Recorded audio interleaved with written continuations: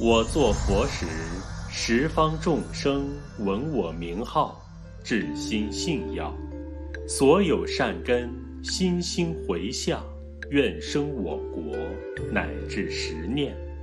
若不生者，不取正觉，唯除忤逆，诽谤正法。净土圣贤录，民国。朱氏。民国时期，有一位朱氏，是张姓人家的媳妇。朱氏很小开始，他就很敬奉观世音菩萨，并且深信因果，孝敬长辈，友爱晚辈，乐于行善。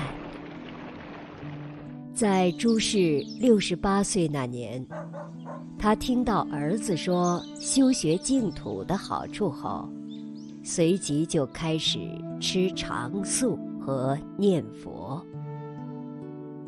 自从发心以后的十多年中，朱氏每天早晚都坚持共念佛一万声，其余时间。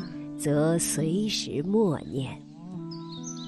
在最后的两年中，为避免闲杂打扰，诸事经常独自静坐一室，精进念佛不怠。阿弥陀佛。在往生前一年，诸事生病。他连着两三天，不吃东西，也不说话，甚至连脉搏也没有了。但朱氏却仍然能够一直向西坐着，而且丝毫没有痛苦的样子。后来等他好了以后，家人问他当时是什么情况。朱氏说：“他当时感觉自己是坐在莲花上，而且心中法喜充满。到了一九三一年六月间左右，朱氏的疟疾复发，于是他的儿子便领着家人，每天为他轮流换班念佛。”在临终前一天，朱氏对家人说：“距离我走还有一两天的时间，你们先可以暂时休息一下。但是寿衣和鞋子等，都要先帮我穿好。”结果，等到第二天上午十点左右。只见朱氏面向西方端坐，两眼微合，不再说话。于是，他的儿子再带着家人环绕在他身边念佛。刚念了不到二十分钟，朱氏就面带微笑地坐着往生了。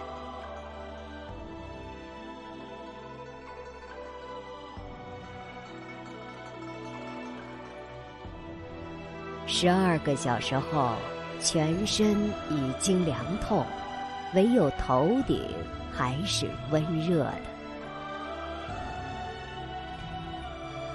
最奇特的是，在朱氏下葬时，他的孙女因伤心过度昏了过去。等他孙女醒来，告诉大众说：“我刚才。”看见西方光明万丈，观世音菩萨手里拿着杨枝，带领着无数菩萨从天空中下来。还看见我的母亲和我的祖母，他们二人也一起跟随在菩萨的后面，而且他们的神情光彩。和生前都迥然不同。所有景物都是那么的庄严与灿烂。当我看到这些，哪还有哀伤痛苦。我那种发自内心的欢喜，根本无法用言语形容的。母亲，也就是朱氏的儿媳妇，几年前也是念佛坐着往生的，后经印光法师证明往生西方。祖母，也就是朱氏。评论说，所有往生到西方极乐世界的人，无论男女老少，都会转变成童男的样貌。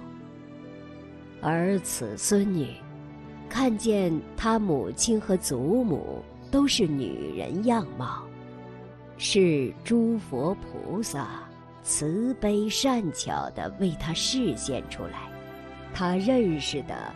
往生者原来的样子，并不是未转童男身。愿读此文的人不必起疑追问。这一次，我们在黄念祖居士批注里面看到这个法门所对的根基，它里面有一条。说的非常有道理。念佛法门是接上上根基的人，这个不可思议。接上上根基的，我们仔细去想一想，没错。哪些是上上人？老太婆是上上人，她心里。什么妄想也没有，什么知见也没有，一天到晚念阿弥陀佛，他就够了，他什么都不要了，上上成人。中下人还怀疑，还要搞这个搞那个，把自己耽误掉了。我们看到那个。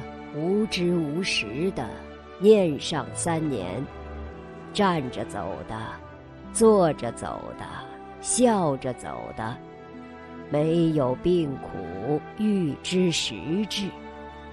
这不是上上成人，谁叫上上成人？我们自己以为是上上成人，佛菩萨看。